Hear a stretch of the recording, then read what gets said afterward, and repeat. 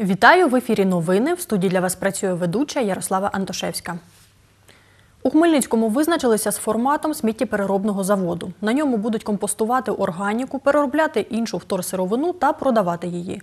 За попередніми підрахунками, його будівництво обійдеться у 30 мільйонів євро. Про це повідомив помічник міського голови Микола Ваврищук. Коли розпочнуть зводити завод, у мерії не кажуть. Зараз проводять тендер на розробку техніко-економічного обґрунтування будівництва. Більше у сюжеті Надії Драганчук.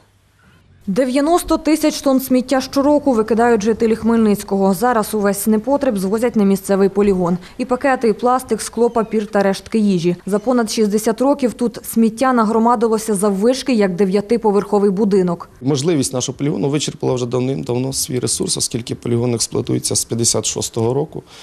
Е, Відповідно, е, на- накопичення відходів йде максимальне, це становить близько 5 мільйонів. Розв'язати проблему з хмельницьким непотребом мав би сміттєпереробний завод, вважає голова обласної організації Українського товариства охорони природи Юрій Резніков. Згадує, вперше про таку ініціативу почув у 1976 році. Було два питання: що робити далі? Або будувати нове звалище, ну його прийдеться будувати десь за межами міста і возити дорого буде коштувати, щоб вивозити це сміття. Другий варіант побудувати. Ну тоді не було переробних е, підприємств, а сміттєспалюваний завод. Проте досі ні проекту, ні інвестицій, каже помічник міського голови Микола Ваврищук. Два останні роки міські чиновники лише досліджували склад та об'єм непотребу, який викидають хмельничани, бо запевняє, таких даних не було. Раніше ми не знали навіть чіткої кількості сміття, яке потрапляє на полігон. Це теж ніби проста річ, але не було ваги. Ми встановили ваги, і тепер ми чітко знаємо, скільки сміття. Скільки? Е, На сьогоднішній день Хмельницький продукує трошки більше 90 тисяч тонн сміття в рік. Основна складова хмельницького непотребу органіка. Її взяли за основу для розробки концепції заводу. Обрали механіко-біологічну очистку. Планують харчові відходи компостувати, решту вторсировини сортувати та продавати на переробні підприємства. Наразі міська рада проводить тендер на розробку техніко-економічного обґрунтування будівництва. Саме там мають бути прописані вимоги до території забудови, доходи і витрати майбутнього підприємства. Результат планують отримати у липні. Після цього проведуть наступний тендер на виготовлення проектно-кошторисної документації.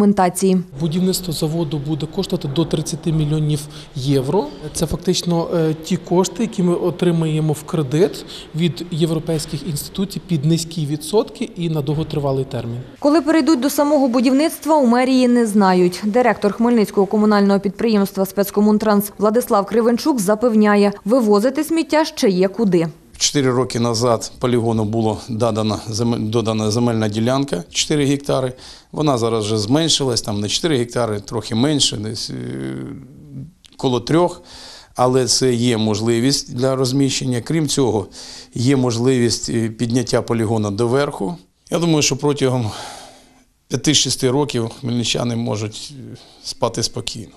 В обласній держекоінспекції кажуть, під час перевірок регулярно виносять приписи щодо порушення правил експлуатації полігону. Найбільша проблема у недостатній площі для відходів. На наступному тижні Хмельницьке сміттєзвалище чекає чергова екологічна перевірка. Надія Драганчук, Олександр Горішевський, Володимир Саприкін. Новини Поділля Центр.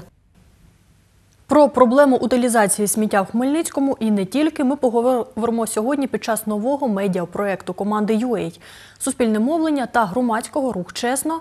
Звіти наживо. О 19.20 у прямому ефірі телеканалу Поділля Центр Хмельницький міський голова Олександр Семчишин протягом 52 хвилин відзвітує громаді про результати своєї роботи та відповість на ваші запитання. Ставити їх можете, зателефонувавши за номерами телефонів, які ви бачите на екрані.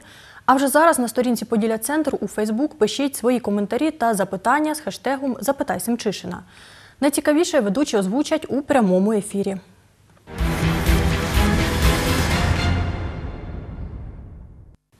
Колишнього заступника голови об'єднаної територіальної громади краю засудили за одержання неправомірної вигоди.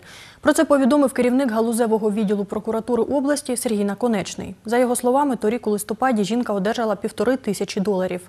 За це пообіцяла вплинути на рішення медико-соціальної комісії про призначення групи інвалідності. Кошти отримувала частинами, і саме під час одержання другої частини обумовленої суми правопорушницю викрили на гарячому. У Хмельницькому міськрайонному суді особу визнано винною у вчиненні кримінального правопорушення. У межах санкції статті, яку їй інкримінували, жінка має сплатити 17 тисяч гривень штрафу. Чоловіка, який важко травмував хатнього крадія, засудили до двох років обмеження волі.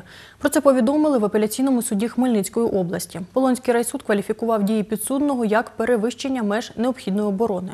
Досудове розслідування встановило, чоловік застав біля свого будинку невідомого. Той розбив скло та намагався проникнути в оселю. Шваброю з металевим наконечником господар вдарив крадія, після чого той помер у лікарні. Рішенням суду винного звільнили від відбування покарання з іспитовим строком два роки.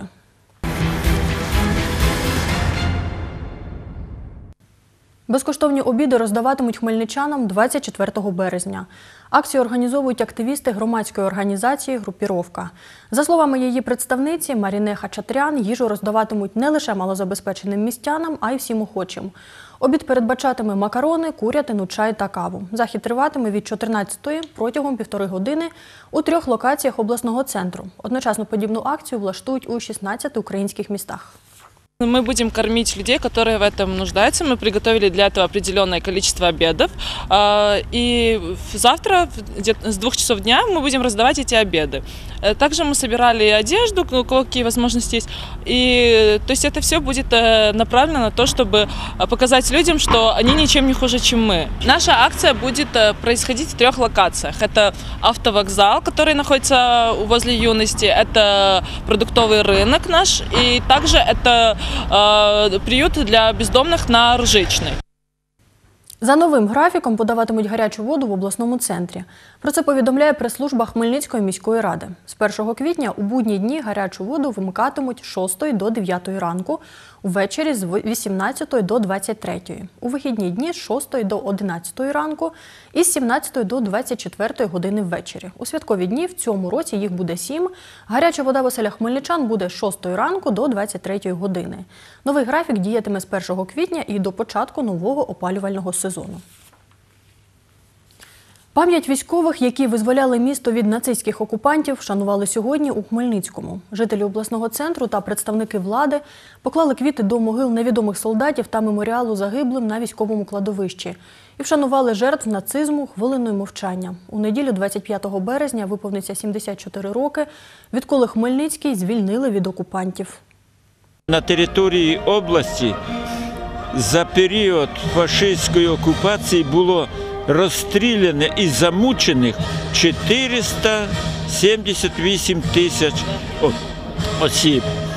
То хай же молоді люди, які на сьогоднішній день являються патріотами нашої країни, не забувають і тих, хто забезпечив звільнення нашої області від фашистської навали. Місячник добровільної здачі зброї триватиме на Хмельниччині впродовж квітня. Про це повідомляє прес-служба обласного управління поліції. Правоохоронці закликають краян здавати нелегальну зброю та боєприпаси до найближчого відділку поліції. Лише за умови добровільної відмови подоляни зможуть уникнути покарання, наголошують правоохоронці. Тим, хто порушує умови зберігання зброї, а саме не має на неї відповідних документів, загрожує ув'язнення на термін від 3 до 7 років. Місячник добровільної здачі зброї розпочинається 1 квітня і триватиме до 30-го.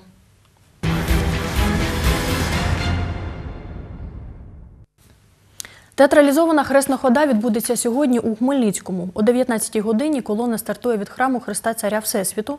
Пройде проспектом Миру на вулицю Свободи. Звідти на Зарічанську і вулицею Бандери повернеться назад до костелу. Через це рух транспорту перекриють одразу на чотирьох вулицях, де відбудеться хресна хода.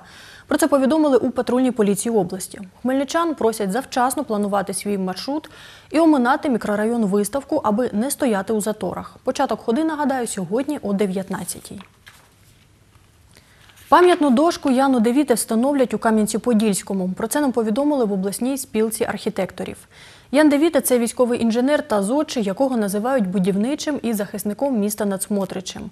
У 18 столітті він брав участь у розбудові Кам'янця. Меморіальну дошку Яну Девіте планують розмістити у центрі міста на будинку ратуші. У конкурсі на кращий проєкт пам'ятного знаку виграв хмельницький архітектор Сергій Козак. Якби сам Кам'янець-Подільський це і є пам'ятник Яну Девіти, образ Кам'янця-Подільського. І туди включені також об'єкти, які е, він е, побудував. Е, Це Тріумфальна арка, це Домініканський собор в Кам'янці-Подільському, це Він причетний до реконструкції багатьох фортифікаційних споруд, ну, в тому числі і вітряна вежа. Він багато приймав участі в в інженерній розбудові, водогони. Більше 20 років був комендантом фортеці. Це всі новини на цю годину. Побачимось.